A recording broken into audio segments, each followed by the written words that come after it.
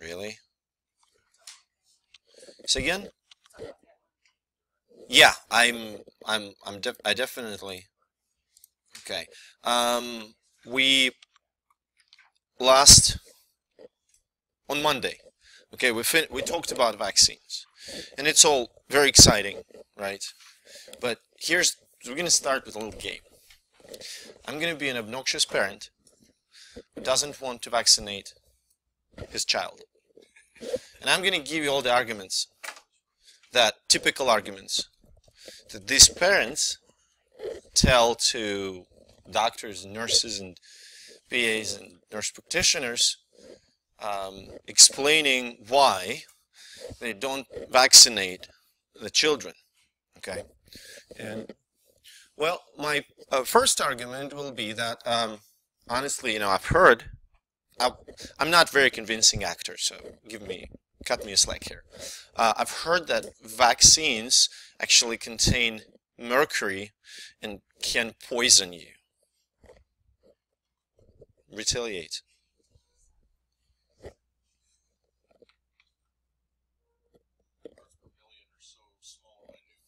Okay.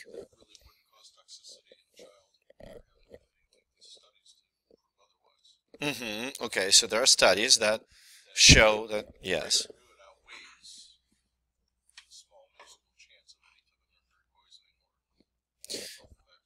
There's another good, huh? Another great argument. Yes.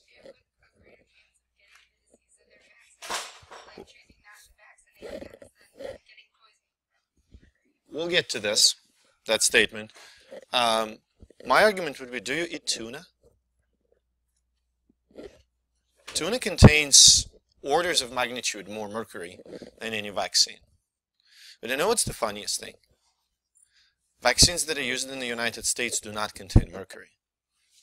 After all that um, shitstorm that started, you know, mercury, the the preservative that keeps vaccines from getting bad. The only reason why thimerosal was added to vaccine was to prevent them from getting bad. Because some vaccines were used in batches. The doctor would have uh, a, a bottle, of, a flask with, I don't know, 10 doses.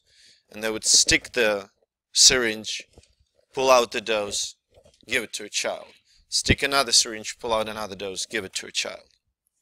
When all that situation and all that uh, you know hype started, the pharma companies decided, oh screw that, we're going to just package them by single dose, so we don't have to add any preservative, so they don't contain. Okay, that's you can just look. That's it. We excluded it.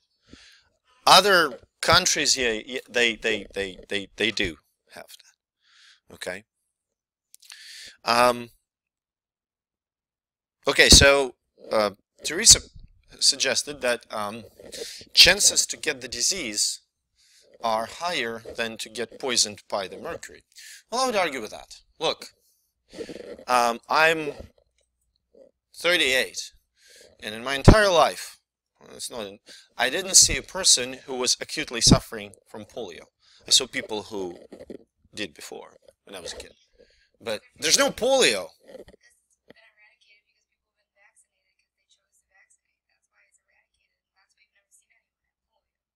So I'm not at risk, you know, I'm, I'm not going to contract polio. I'm not going to contract measles, you know. I haven't seen measles. I haven't seen mumps. There's no, I didn't see anything like that. What are the chances of contracting measles or mumps or polio, but, you know, my kid can be poisoned by mercury? I'm really stubborn. I'm really stubborn, okay? So mercury is still on the table. Come on, retaliate. I don't want to vaccinate my child. Other people, they vaccinate their children. You know, they will that that will protect me probably.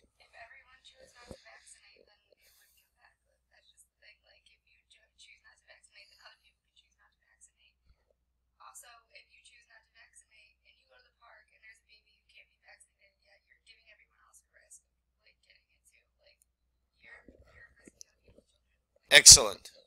Excellent. It's a very compelling argument. uh, people who are anti-vaccine, they don't operate with the scientific evidence. They operate with anecdotal evidence. My friend vaccinated her kids and they got autism or they, I don't know, um, ended up having C in social studies. So that's why, you know, because of vaccines. That's anecdotal evidence, right? You can find anecdotal evidence with anecdotal evidence only. Find cases of people not being vaccinated getting the disease. Give them examples of Amish communities in Ohio and Pennsylvania. Give them example of uh, Orthodox Jews in Netherlands. You can match, like map of Orthodox Jews living in Netherlands and map of outbreak of measles in Netherlands. They match. Well, not map of Orthodox Jews. I mean, it's not Nazi Germany. Nobody maps them.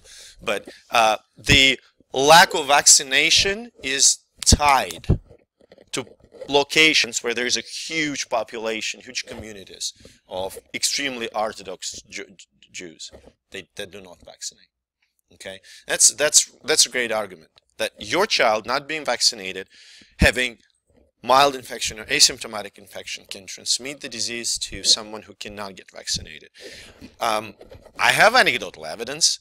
My, my wife's colleague, my wife's co-worker back in Russia, her son died at the age of one of measles between first and second vaccinations. He didn't build up the immunity yet, contracted from someone, and that's it. Okay? That was really horrible because some asshole didn't vaccinate. Okay? Uh, well, vaccines cause autism. You know the answer. Huh? Yeah.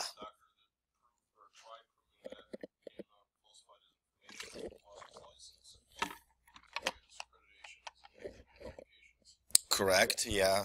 The papers were retracted, he lost license. You know where he is now? Austin, Texas. Yes, he's British, so he's now in Austin, Texas. The funny thing is that uh, Dr. Well, he's not doctor anymore.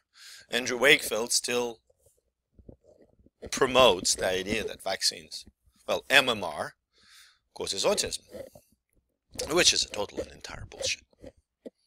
Okay, there's no link. Um, so, yes. Uh, yeah, did I, I, I did show you the website, how vaccines cause autism. No, I did not. Some of you have been exposed. That's the get great answer. That's actually a very good website that uh, thoroughly explains the entire thing. Um, this is the one. It's not the ad ones. That's actually here's the link to the compendium of research that's done by American uh, Academy of Pediatrics. They pretty much compiled all the data, okay, on um, vaccination, link between vaccines and autism. Well, there's no. there's no link between vaccines and autism. Yeah, I mean, you can donate, which is...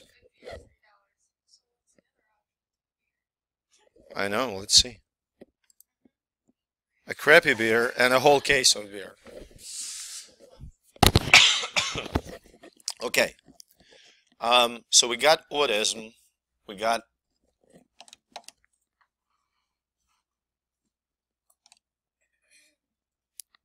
thimerosal.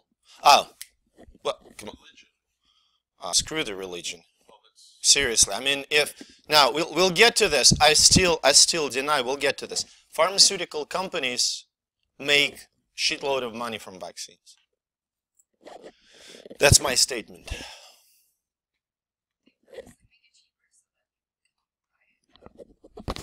not a shitload.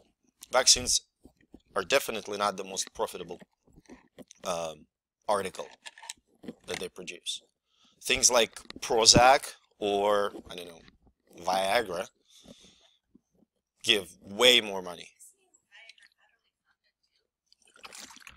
Um, not. I don't think it was federally funded.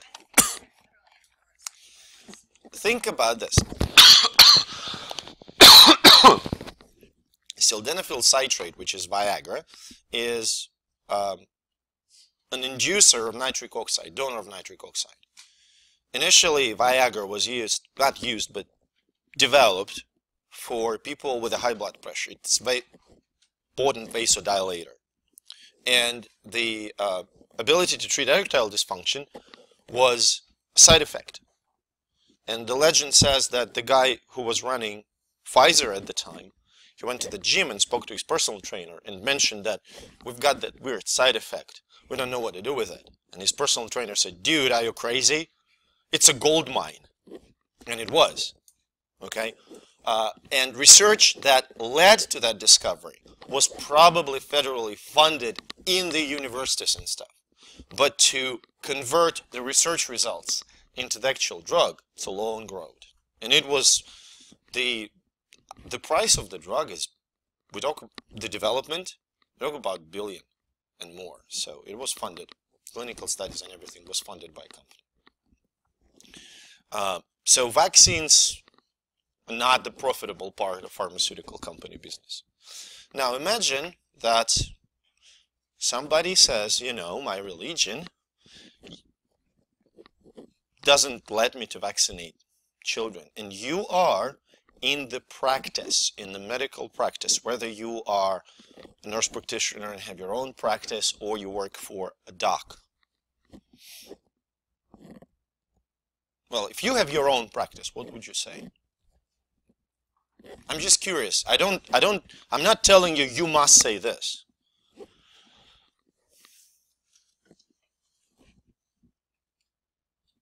I would have my own. I would say, well, I appreciate your religion, but then you're not going to be my patient anymore. I can't, I can't put my other patients at risk of being infected because your religion prohibits you from vaccination. I very much appreciate it. Go find a dog that will treat you. Okay? Uh, for school enrollment. Uh, hmm?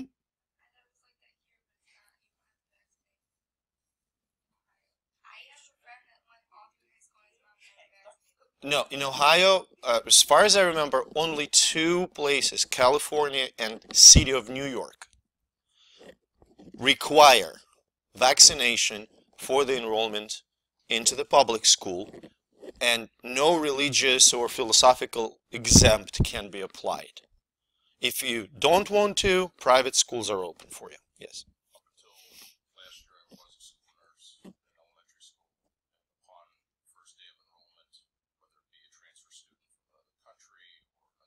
Mm-hmm. days from the first day you start to have proper documentation of vaccinating the vaccination list. If you don't have that, you get put on a, basically a waiting list of in process, we call it. Mm-hmm. State of Ohio, where as long as you're starting the regimen of Hep B and chickenpox and all that, cleared for school, as long as you're starting the process, and then we have to send out letters on letters saying you're due for this. I see. Well, have, have, you have fourteen days to start the process. Okay. Have anything. You need records, proven records on paper, from the doctor or whatever. It comes into problem. When I was there, it was more, we were taking a lot of refugees from Iraq, Iran. Ah, I see. So they, they may or may not have vaccine. Some things you can translate. Uh-huh.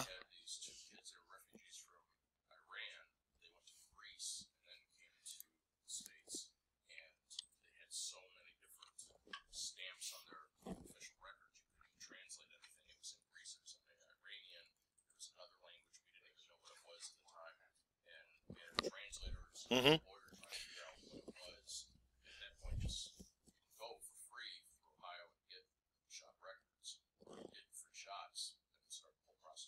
Well, it's still, I don't know if people could argue about philosophical exempt. No. It's a lame excuse. I, I'm not asking. I'm not saying that it's not a lame excuse. I'm, I'm not saying it's a valid excuse. But the problem is, in some cases, it's a legal excuse to be exempt from vaccination, and that sucks. Okay, so yes. Your system? Vaccines? Oh yeah. So when you get vaccinated with vaccines that we have available, and we have pretty much inactivated vaccines, let me go back and just remind you what we're talking about regarding vaccines. So we we can get inactivated vaccines, right? And these guys, and we can get attenuated. We don't have any other. Well, we we have subunit. They have B. Okay. So when you get either of those, they mostly induce antibody response.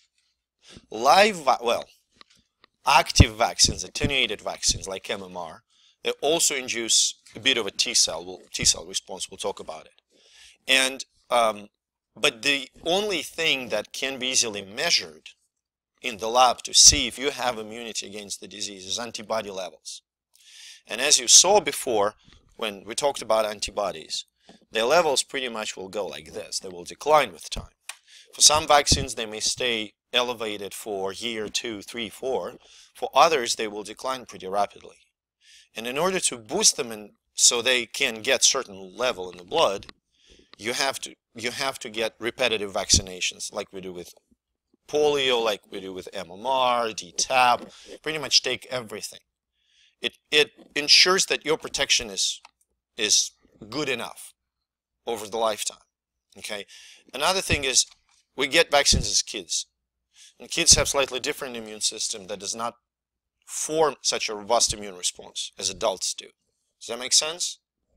So when you go into the nursing program, okay, and they take titers of, I don't know, hepatitis B, okay, and they find that your antibody titers, antibody levels are low, does that mean that you don't have immunity?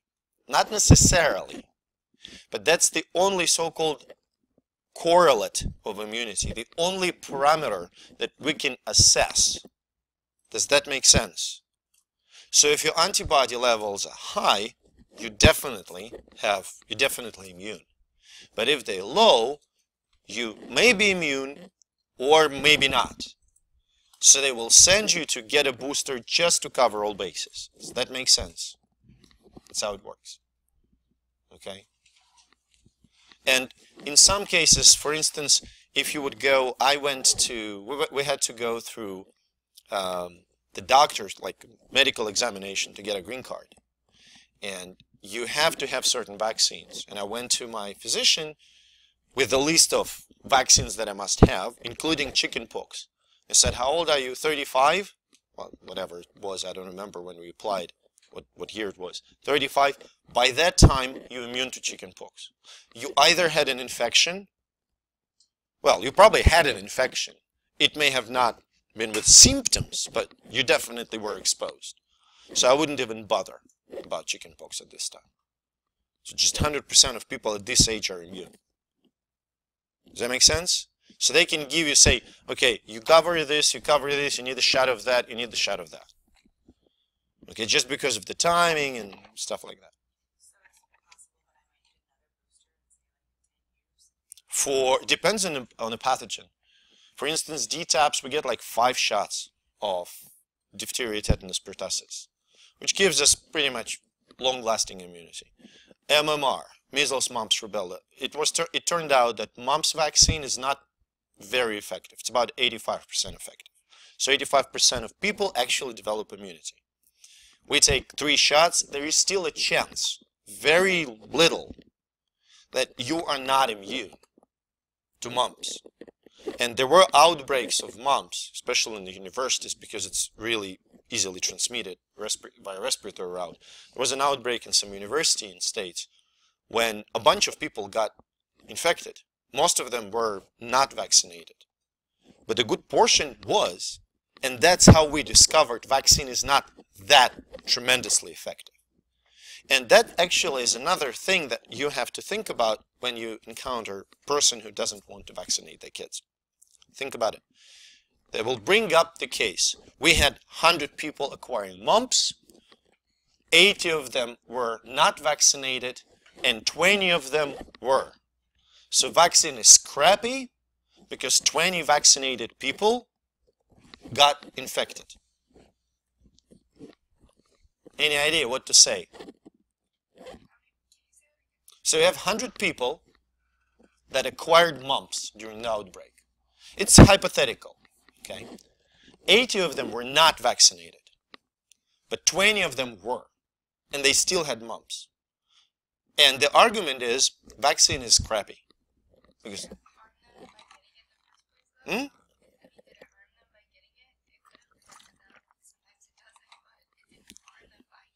Yeah, but they can say, well, they got the vaccine and got, you know, got infected, got disease anyway. You're looking at one case. It's not counting. I look at 20. Yeah, but even then, it doesn't.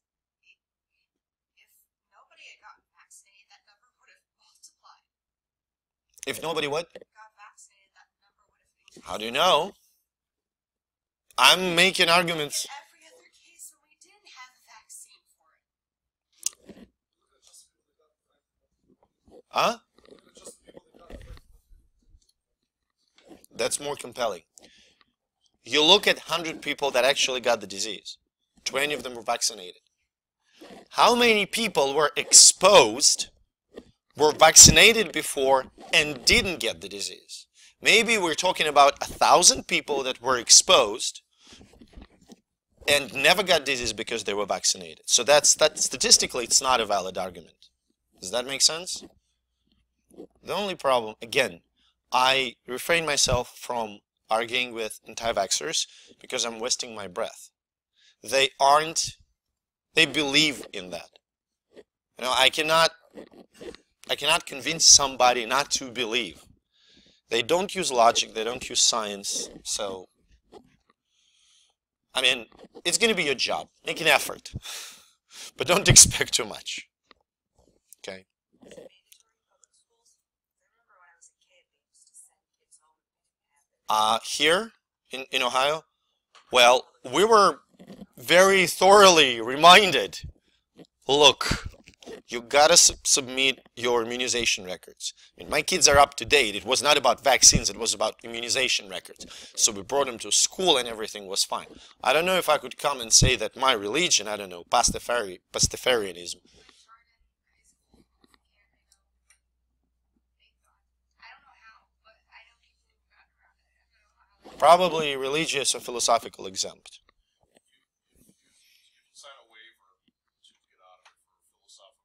You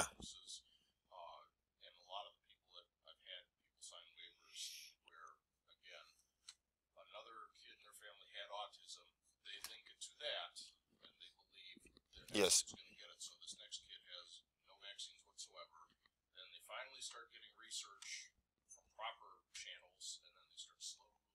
Well, that's good. or they do a slow spread of vaccines where their doctor, whoever they go to, allows them to do instead of have it be every three months, it's every six months instead of three, and compounding all the vaccines all at once because that was another belief that they Yes, that is largely false. everything all at once was hitting them all at once and weakening the immune system. That's not true. That's not true. Oh, another argument. Very good argument. That from the anti-vaxxers. Isn't the infection the natural way? Isn't, isn't the natural way better? Now when it comes to an epidemic disease that's so highly infectious where it comes down to the set, one cell is enough to spread like uh, Oh, screw other people. I don't care about other people getting infected. There you go. Uh, somebody brought up the case of like natural selection. Things that don't kill you make you stronger. My immediate retaliation was, well, are you ready for a kid not to be selected? So they usually start to think about it. Yes.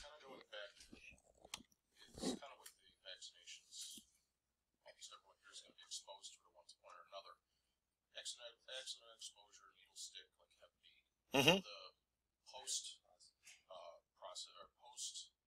Post exposure Yeah, post exposure. It's from ah ah immunoglobulins against hepatitis B. It's immunoglobulins, it's antibodies. So it's the bolstered dose of it. yeah, so the idea in treating immuno using immunoglobulins for treatment is that when you accidentally get exposed to the virus, like hepatitis C, hepatitis B, um, the hope is that antibodies that you receive will prevent virus from actually infecting the cells, will neutralize the virus. Remember, neutralization will neutralize the virus while it is on its route to the liver. Okay? But the only vaccine that, to my knowledge, works post exposure is rabies. That's the only one. Okay? Well, good job. Good job. You will have to you will have to tell this to people. Now we're going to continue talking about the immune system and we will discuss the T cells. But in order to understand how they work, yes, yes, they shouldn't. If because uh, when the kid has a fever, it's a sign of disease, right? Elevated body temperature is the sign of disease. If the kid is sick, it means that his immune system either working at the you know higher intensity, it can be weakened by the infection, that's absolutely normal. So the kid may not build up the proper immune response. So you should wait till the child is healthy and then give him vaccine or her vaccine. That's absolutely normal. You have to be examined by a physician before getting vaccine. Generally, they ask, do you feel fine? And that's understandable because they can check if you have diabetes, cancer, heart disease, and whatnot every time you go to get vaccine. So if you feel fine, go for it. Does that make sense? Okay, let's continue with the immune system. And we're going to talk about the, uh, first, first of all, we're going to talk about the, the concept that is known as MHC or major histocompatibility complex.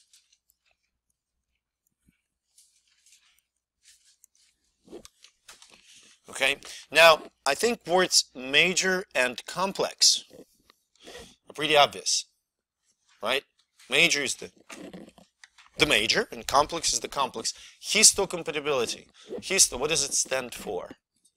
Tissue and com tissue compatible. So major histocompatibility complex allows your immune system to distinguish between what and what.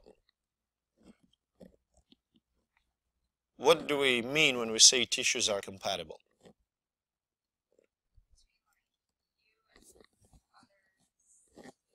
Bingo. Self and foreign. Okay? Okay? Self versus foreign. There are two types of major histocompatibility complex. And as almost everything in biology, if there are two types, it's going to be type 1 and type 2. Is that clear? Two types. Um, so how these types work. So these are two generic cells. MHC type 1 can be found on all nucleated cells. Meaning, starting from neutrophils to liver cells to neurons to epithelia of intestine.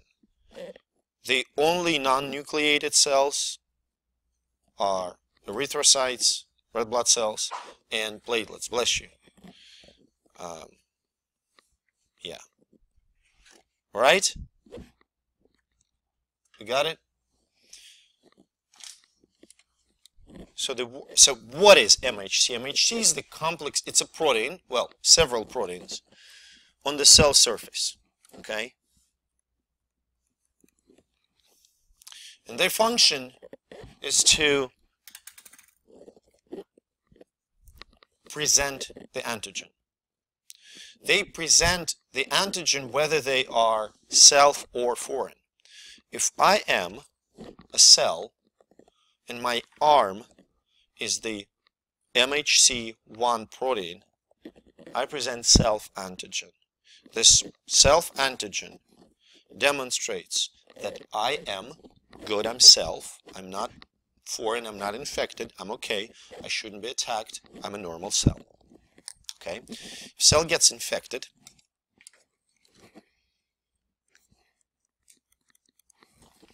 okay, that infection, say it's intracellular bacteria, uh, it produces a lot of proteins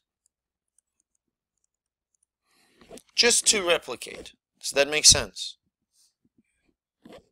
Active infection, during active infection, a lot of proteins are produced.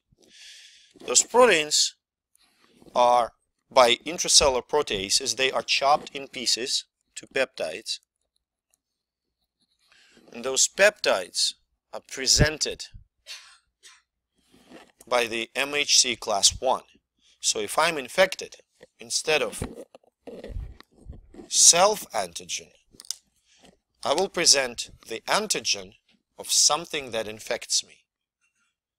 Does that make sense? This thing, that antigen of whatever infects me, will be a red flag for the immune system, will allow immune system to say, that's wrong. This, this cell should be destroyed. That makes sense? MHC class 2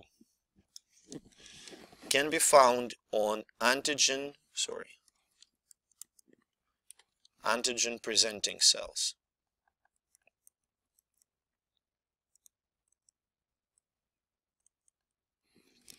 There are three antigen presenting cells that you must know. Dendritic cells,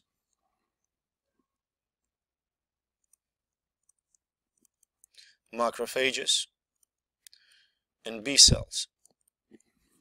They all can engulf the pathogen, okay, and destroy it and break it down in pieces. Does that make sense? So imagine now that there is a pathogen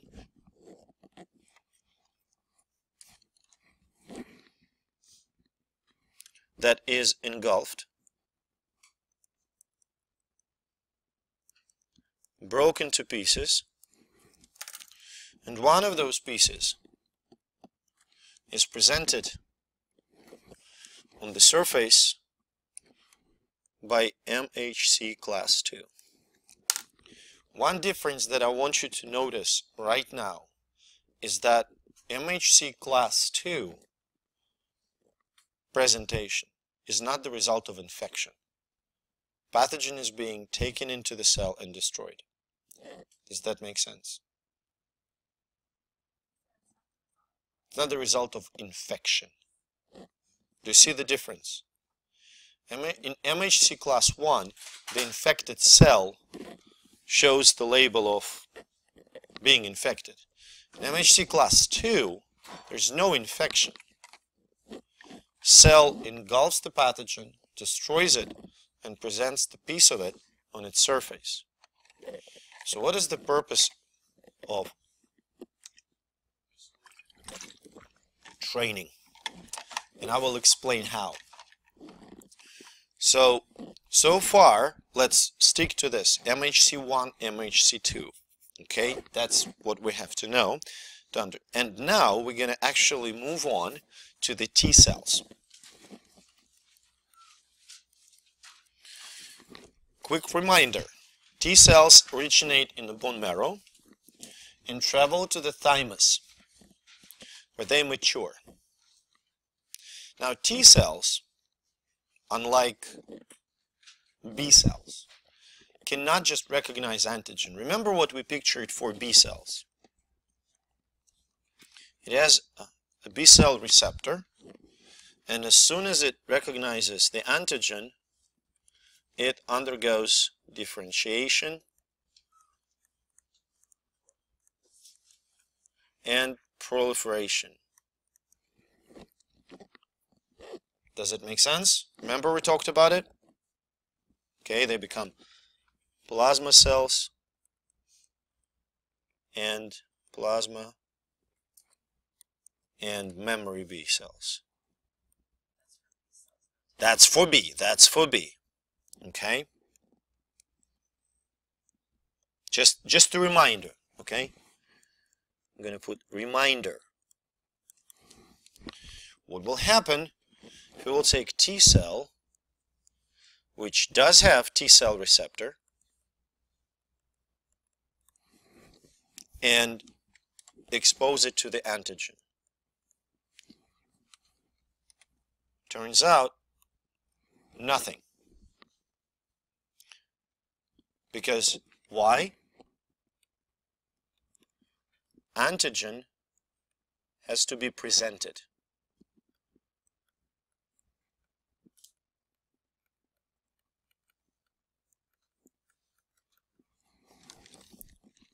Are we cool on that notion? Antigen has to be presented. Right? How that happens, the presentation of antigen. Here comes our um, MHC type 2. Imagine that this blue cell is the dendritic cell.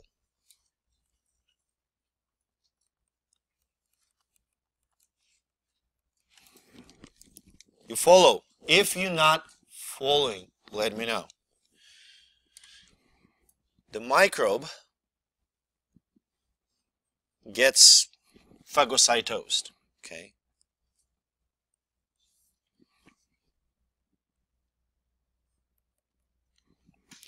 And inside of the dendritic cell, it's chopped in pieces.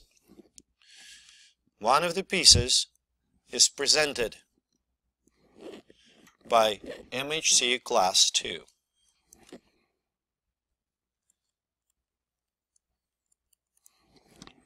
Do you understand that that thing? It was brought in the cell, it was destroyed, broken into pieces, and one of the pieces is presented on the surface of dendritic cell. This T cell can recognize. So T cell now can recognize the antigen with its T cell, well, it's called TCR, T cell receptor, okay?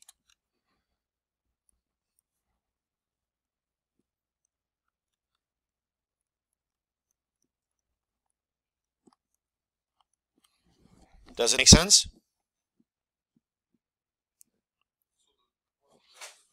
Hmm? Say again?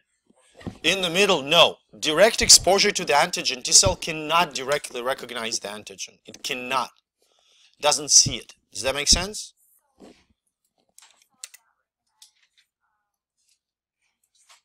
We'll get to that. We'll get to that. So far, I'm I'm going step by step. Okay. We try to eat an elephant piece by piece. Um, so this will activate T cell.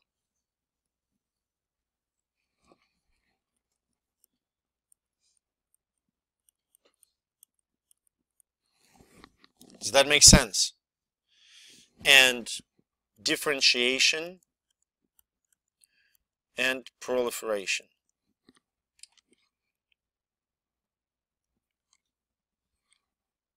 Does that make sense? So essentially, if now I want someone to play a role of B cells, you don't have to. You don't have to go anywhere. Okay, I think I have enough. Beatrice, would you help me just a little? So, Be imagine that it's just easier. Beatrice is the B cell, and Michael is the T cell, just closest. So, B cell if B cell encounters antigen, can you get can you get activated directly if you encounter antigen directly? If you're B cell up there, yes. If you're B cell, you can. Now, if you're T cell and you encounter antigen directly, no, T cell cannot get activated. But if I am dendritic cell and I chopped up the pathogen and now I present antigen, can you get activated? Now, T cell can. You see the difference?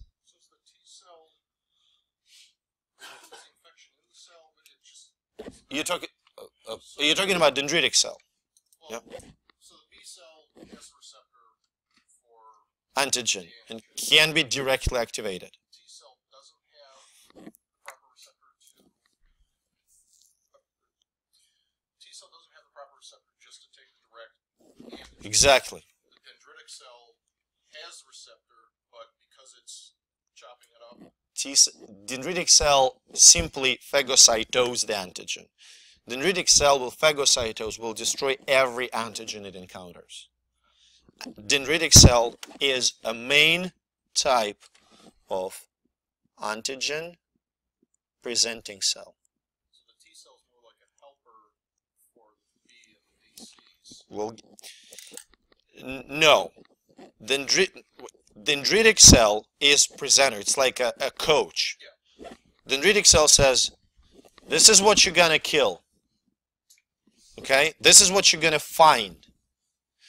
B cell doesn't need instructions from dendritic cells. B cell can directly recognize the antigen. Straightforward. Does that make sense? T cell has to have that demonstration, has to have the presentation of the antigen. We're going to talk about helpers. Yes. Well, they not only with dendritic, with others. You're kind of running ahead of the train a little bit. Okay, we'll get there. Now, what I want you to get out of this is that T cell has to recognize antigen that is bound to MHC. Okay? Does that make sense? It can only recognize antigen that is bound to MHC. It cannot recognize the free one. Now, if we go back a little bit to the point where T cell matures, we now can figure out which questions. Remember we asked question to the B cell. What does it have to do? So T cell, during maturation, what does it have to be? So you have naive T cell. So it has to have, it has to be able to do two things. First, it has to recognize MHC. Does that make sense? It has to be able to see that molecule. It has to be able to see MHC molecules. It again you're running ahead of the train. It does for different types, but generally it has to be able to see MHC, okay? We'll get to different types. So the question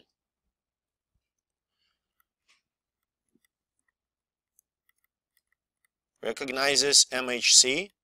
There are two answers. No and yes. If no, do we need such T cell? If it no. If it doesn't recognize MHC, it goes to apoptosis. If it does recognize MHC, then the next question that we have to ask is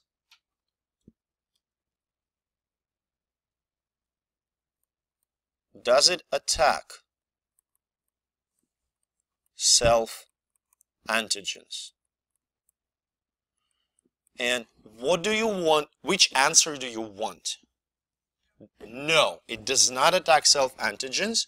So we get the answer no. And that's going to be your mature T cell. If the answer is yes, then it goes to apoptosis. Does that make sense? That's the process of T cell maturation. Remind me in which organ it happens. Maturation happens not in the bone marrow. Thymus, yes. They naive T cells are produced in the bone marrow but mature in thymus. Clear? So I have mature T cell. It goes into the lymphatic organs like lymph node. And at a certain point, it gets directly exposed to the antigen. Is anything happening? No, because it is, if it gets directly exposed, nothing is happening. Sometime later, it gets presented with an antigen. Okay? And it, B cells. Hmm? What if there were B cells there? Getting there. Getting there. Getting there. You're too anxious to find an answer. We're getting there. So it is presented by the dendritic cell. Okay, so dendritic cell teaches T cell the antigen recognition. And T cell becomes one of two types. It essentially differentiates there's a population, well, I'm a little bit, wait, I'm a little bit um, off the chart here. So there are two types of T cells, CD4 and CD8, okay, before antigen exposure. CD4 cells are generally considered helper. CD8, killer. Okay? Now, CD8 cells will go out in the blood. Well, they all go out in the blood, but CD8 cells will circulate in the body. And their purpose is to find and recognize the infected cell, the infected cell, and kill it.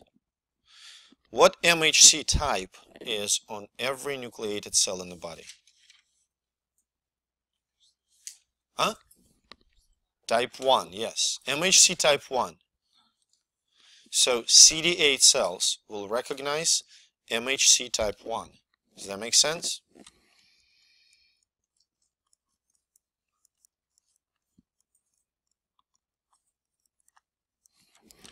CD4 cells cannot do that. Instead, since they're called helpers, they're going to help other cells, like macrophages and B cells, to better do their job. Which MHC type we can find on macrophages and B cells? MH, MHC2. Okay. CD4s are like flagging for other responders to come help.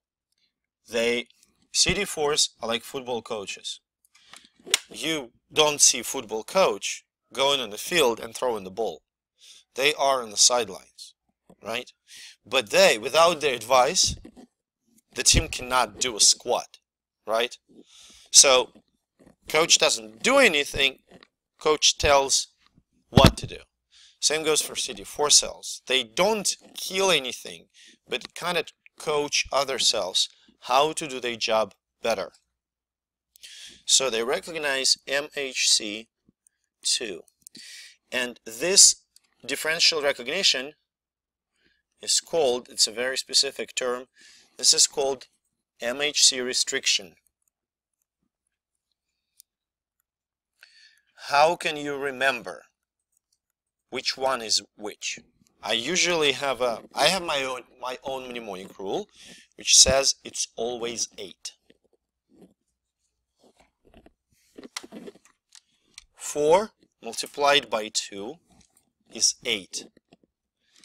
8 multiplied by 1 is 8. Does that make sense? It may, it may help you. Does that make sense? Good. So, when these guys, CD4 and CD8 cells, become presented with antigen, they differentiate and proliferate. Remind me what proliferation means. Huh? They become more. I'm deaf. That's professional. More abundant, more numerous, right? Differentiation means they become more specialized. So CD8 cells become cytotoxic lymphocytes.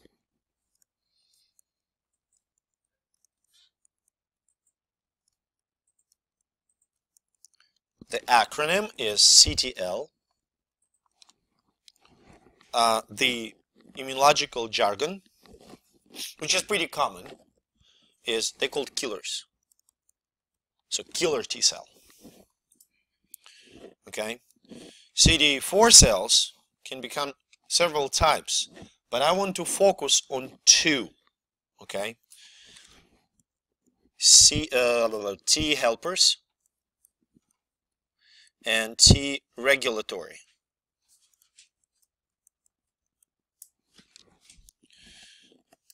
Um, not surprising, T helpers help and T regulatory cells regulate. Okay. So all these cells, T, uh, there are several kinds of T helper cells, which I'm not planning to cover and I'm not planning about asking you. Okay. So these types of T cells are called effector cells because they produce effect. Does that make sense? All three of them. It's all effector cells. So when you know when the uh, you you see uh, T effector cell, it means it can mean cytotoxic lymphocyte, it can mean T helper, it can mean T regulatory cell. So that makes? Just just terminology. Effector. Okay. Now let's figure out how they work.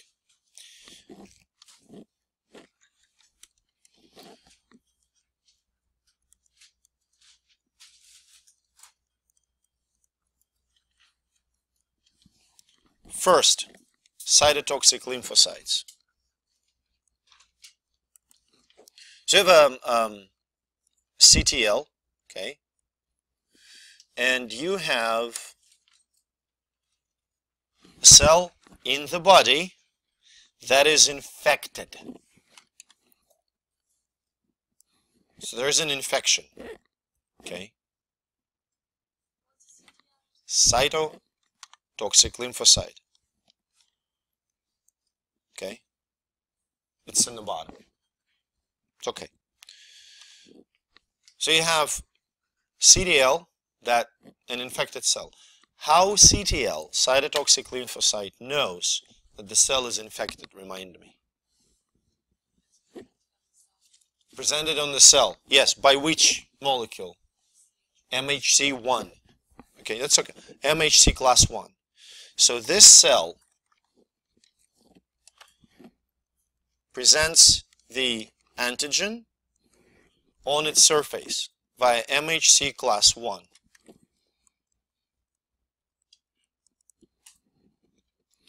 Does it make sense so far? Sorry. Okay. We good? We good? Then understood? Okay. Now T cell has the T cell receptor. There are other molecules along with T cell receptor.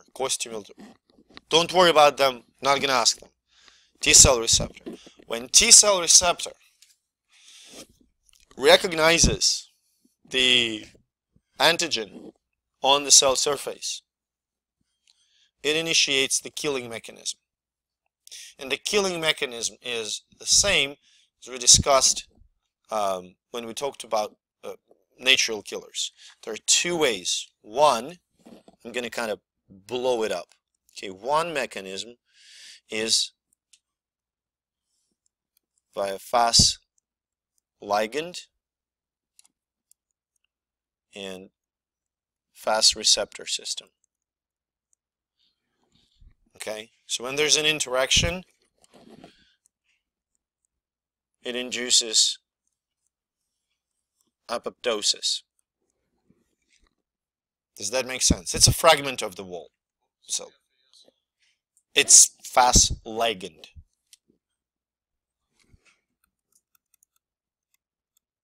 Fas is some shortened, I don't even know where it comes from. R receptor. Does that make sense? That that interaction induces apoptosis. And the second mechanism is the release of granzymes and perforins.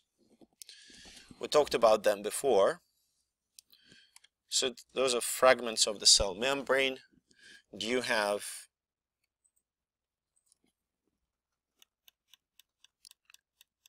perforins released and you have granzymes released.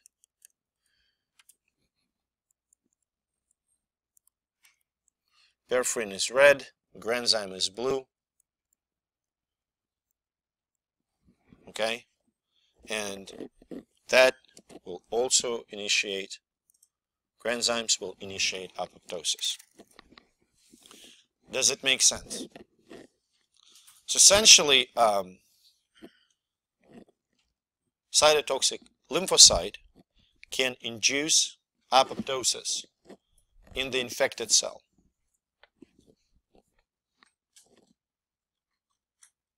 Do you follow?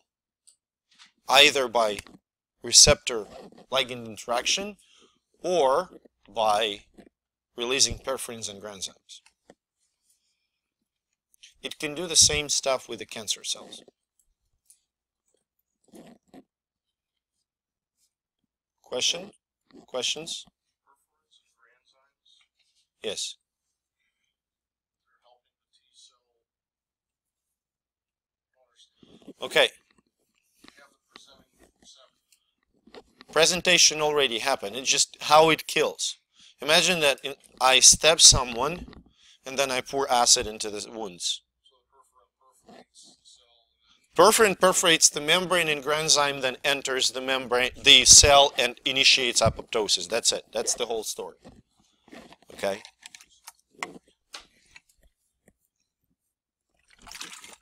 Now, cytotoxic lymphocytes can kill infected or cancer cells.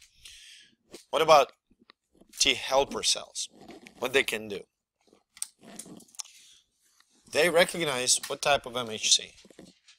2 and on which cells we can find MHC type 2.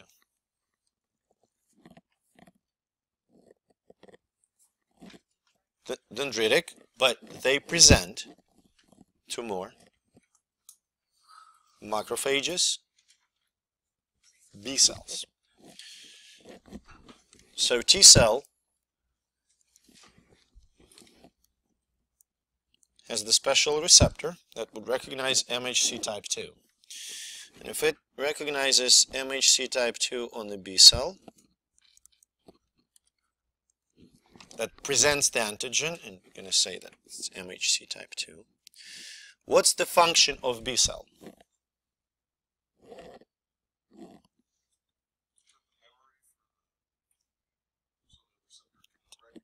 They do have memory component B cells, but what is the main function of B cells? They do, but that's how do they? What, type of immune response they produce? Hmm? B cells. Anyone? There are two types of adaptive response: cellular and humoral. Humoral. And humoral response means what B cells produce. What type of molecules? Type of molecules that recognize antigen. Antibodies. Okay, B cells have to become plasma cells and produce antibodies. So T cell, the helper T cell, will increase B cell activation, differentiation, proliferation. Essentially, T cell makes B cells more effective. Does that make sense? It's a coach, right? Quarterback can throw the ball without the coach, but with the coach, the game becomes much better. Does it make sense?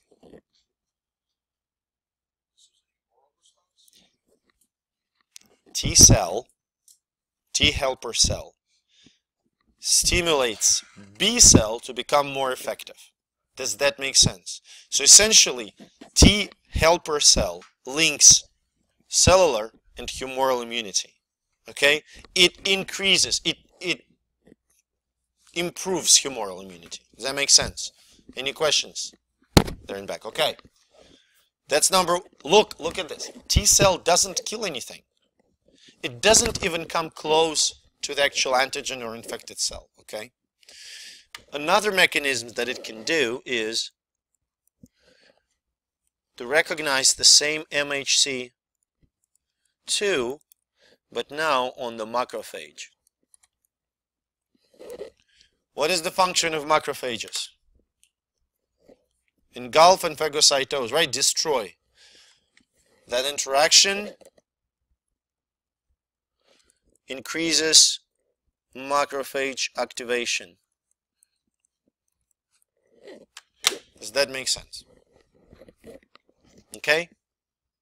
Macrophages become more active. So they engulf, they, they are more active in searching and killing. That makes sense? That's the coach. T cell is the coach. Good? Now a little example. Now a little example. There's a disease, human disease, in which pathogen invades CD4 cells, kills them, essentially depriving a patient of all T helpers. What are, we're going to get to which disease is that. What are the consequences of getting rid of T helpers? Which, brand? how? Huh? Ooh, just from that picture. So B cells are depressed, the activity is depressed. Macrophages? Depressed. Yes, there's another thing. T helpers actually stimulate CD8 cells. Not, not by interaction, they produce chemicals. CD8 stimulation via cytokines. Now, if you have no T cells, your CD8s are depressed. So getting rid of T helper cells depresses all branches of immune response. You get my point? You get my point? What's the name of that disease? HIV. HIV infects CD4 cells. Helper cells, they don't kill anything. They don't produce antibodies, nothing. Okay? Think about this. It's like it's like a football team. Okay? You change I don't know, a, a cornerback. That will have certain influence on the game. You change running back, it's going to have certain influence on the game. You change coach, or you get, oh, come on, my favorite team. Saints spent the entire season without a head coach. Okay? They still managed to get 8-8. Their defense was 32nd in the league the worst in the history of NFL, you know. But so it was definitely a huge problem getting rid of a head coach. So if you get rid of that head coach CD4 cells, getting rid of T helper cells, all other branches of, of adaptive immunity and some of innate, like macrophages, are going to be depressed. Does that makes sense with that. Yes. Yes.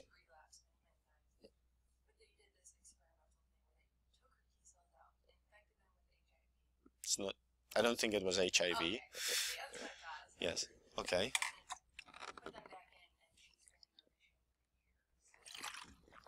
That's a great treatment. So what I what I think they have done, what I believe they have done, I don't think it was HIV, um, because it would be a little bit of a stretch to infect deliberately infect someone with HIV because the person can transmit it. It probably was another retrovirus. Now, I want to make a point when we talk about retrovirus. We talk about uh, the virus that can incorporate its genome into the DNA of the helper cell. Okay? We're not talking about this type of retrovirus. Okay. So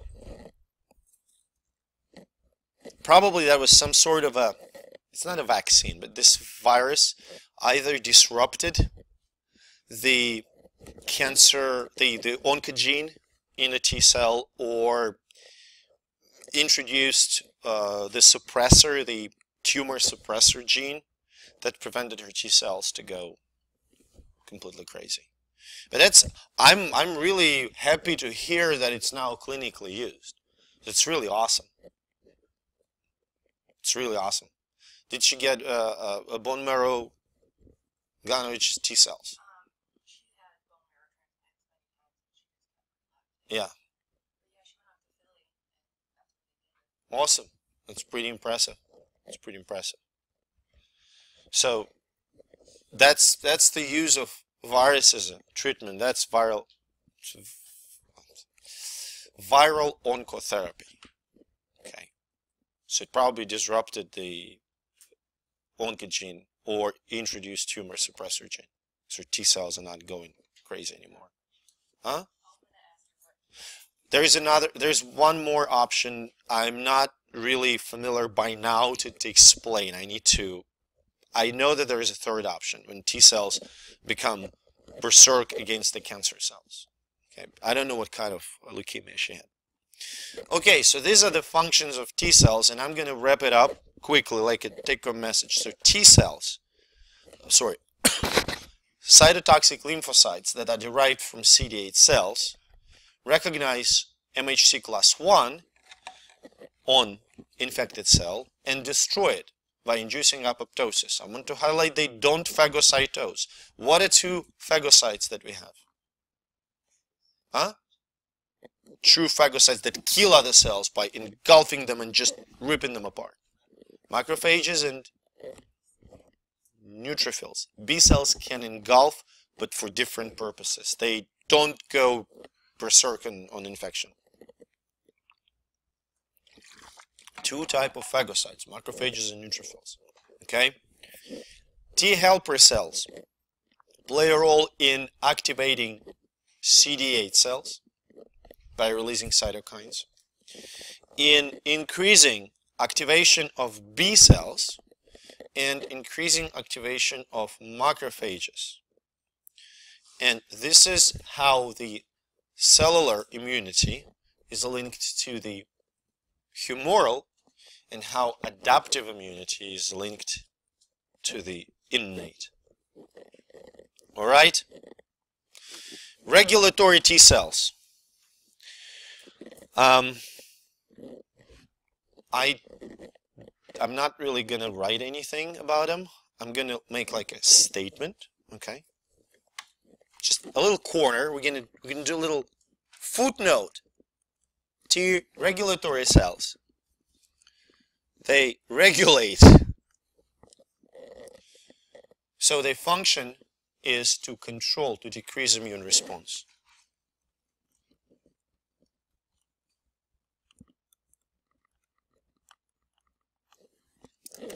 Why it's so important to decrease immune response? Eventually. So if white blood cells run around and then just go crazy, how do we call it? Autoimmune, right? So lack of T, lack of uh, T regulatory cells is associated with autoimmune disease. This is not like my statement. It's a research. For instance, um, the abnormalities in T regulatory cells levels and migration and so on and so forth are associated with Crohn's. The problem is that we don't know how to treat, how to address this issue. You know, do should we do like Treg transplant or stimulate something? We don't really know. But we definitely know that T regulatory cells play very important roles in rheumatoid arthritis, Crohn's, IBD, and so on. So you have to know that they they regulate and essentially dampen, suppress the immune response. Am I clear? So that's all you have to know about Tregs. Okay. Um, okay, it's not transplants yet. Hypersensitivities. Fun stuff. There are four types. We're going to start with, not surprisingly, type 1 hypersensitivity, which we also call an allergy.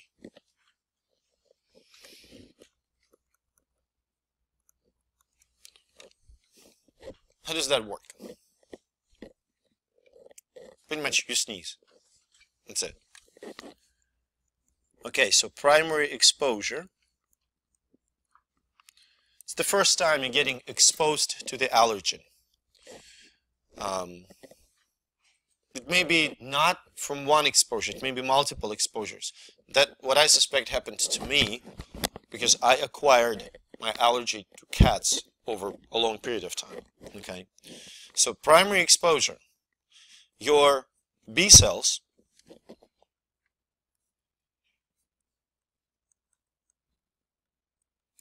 recognize the allergen and produce plasma cells, blah, blah, blah. The result, immunoglobulin E.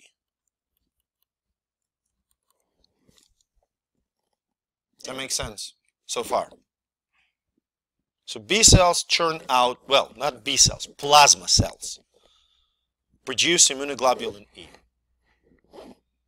Is that step clear? When immunoglobulin B, immunoglobulin E enters the circulation, it attaches itself to the mast cells and basophils.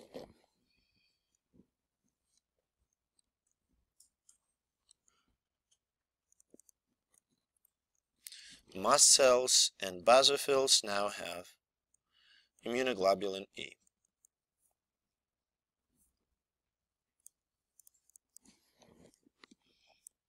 And are you allergic at this point? No. No, you're fine. That's your first exposure. But then, second exposure happens.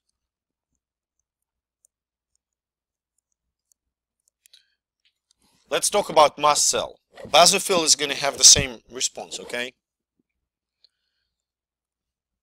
Mast cell, immunoglobulin E, interacts with the allergen.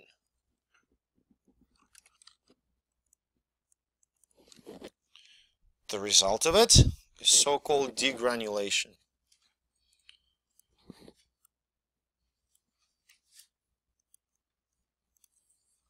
Immunoglobulin E stimulates degranulation. So the IgE is like a receptor that It recognizes the allergen. Yes. It essentially serves as the allergen receptor on the mast cells. Um, what's in the granules in basophils and mast cells? The H word. Histamine.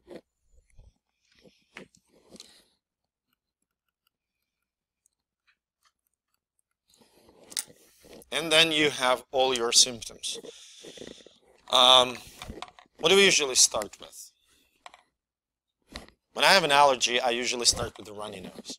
Okay, so histamine leads to the vasodilation in the nasal mucosa, increased production of nasal secretions, so I have a runny nose. Huh? Watery redness, vasodilation. Also, histamine works on the nerve endings, that's why you're itchy. It can be on the eyes, it can be all over the body histamine release, vasodilation, and swelling uh, hives if it's local. Okay. Another contribution to runny nose, the lacrimal ducts become obstructed with the mucus from the nose, and tears just flow from your eyes instead of flowing into your nose. Okay. So we've got we've got it covered. um, scratch your throat. That's that's chemical effect. And if the degranulation happens systemically, bronchocons bronchoconstriction, okay, and histamine has opposite effects on the smooth muscles of bronchi and smooth muscles of blood vessels. It causes the contraction of smooth muscles of bronchi and bronchoconstriction and relaxation of smooth muscles of blood vessels, vasodilation. So the person cannot breathe, and when all blood vessels in the body dilate, what happens to the blood pressure? It falls down. This is called uh, it's not hypot it's anaphylactic shock. Person goes into shock because it doesn't just decrease, it drops. Okay? Huh? Because heart tries to compensate for falling blood pressure but cannot because it's so dilated, okay? Does that make sense? How can you hmm? Well, it's paused. Is there any way to prevent allergy? That don't expose yourself to the antigen. Uh, is there any other way? Hmm? Yes, you can do antihistamine. You can do drugs that prevent the degranulation. Um, Benadryl, okay. Um, Claritin would be would be good as well. Now, the trick with antihistamines, you better take them before. I did several experiments on myself, not deliberately, but um, if I go, second, if I go to the house with a cat and I take Claritin there, I feel better by the time I'm home. But I feel pretty lousy there. If I take it two hours before the visit, I'm fine. Yes.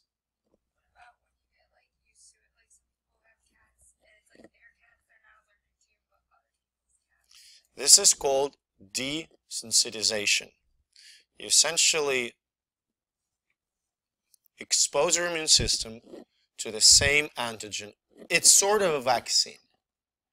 Not, it doesn't work like a vaccine, exactly the same mechanism, but the idea is that by exposing yourself to the allergen, you sort of teach mast cells and B cells and basophils not to respond. B cells not to produce IgE, mast cells and basophils not to degranulate.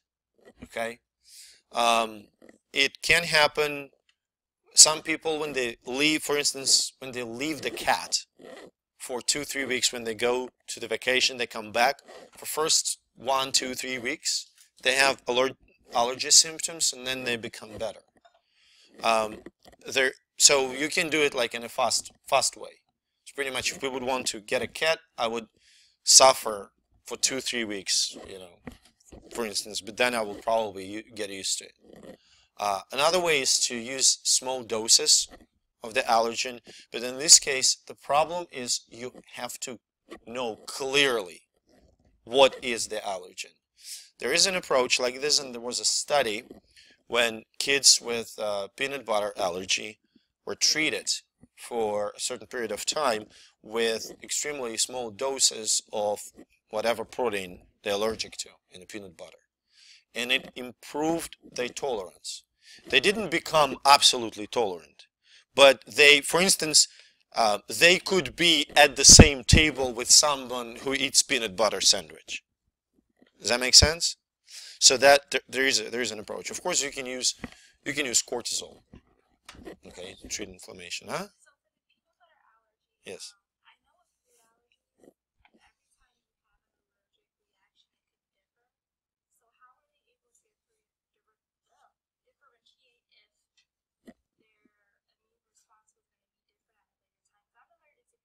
um,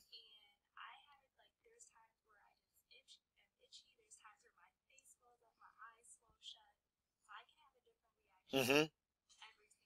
Right. I believe it's a whatever it's a dose of whatever you are allergic to. And here's the thing, even in case of peanuts, we can say that whatever the component you're allergic to and we don't know, depending on the how it was processed, it may alter the response. Does that make sense? Does it does it make sense? Like uh, it was done in this facility, that facility, roasted versus salted, peanuts from this source, from that source. Maybe it's not peanuts.